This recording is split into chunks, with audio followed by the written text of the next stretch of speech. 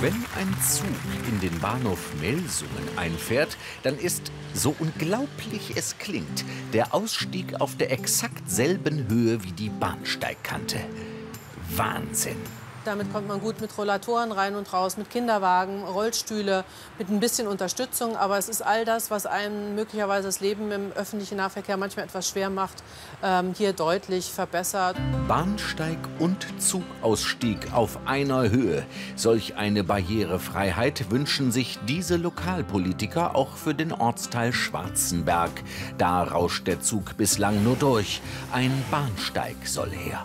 Genau dort wie alle Bahnsteige auf der Strecke soll auch der neue 38 cm hoch werden, dem Zug, der hier fährt, angepasst, barrierefrei eben.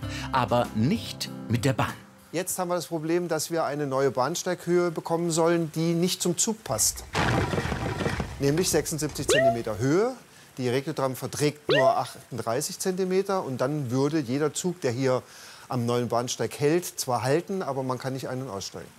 Ja, mag schon sein. Der Höhenunterschied wäre nicht wirklich barrierefrei. Aber trotzdem, der neue Bahnsteig in Schwarzenberg muss als einziger auf der Strecke 76 cm hoch sein.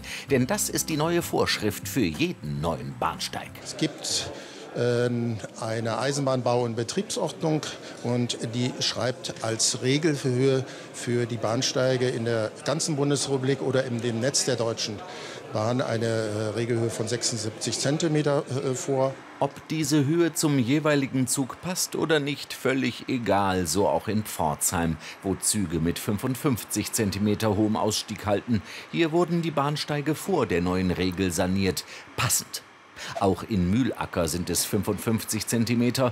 In Niefern, genau dazwischen, wird erst noch saniert mit selbstverständlich 76 cm hohen Bahnsteigen. Es macht natürlich keinen Sinn, wenn man gerade eine Strecke 55 ausgebaut hat, dann einzelne Bahnsteige noch mit 76 hinzubauen. Wir haben Gesetze und Richtlinien und über die kann man sich nicht einfach hinwegsetzen. Nein.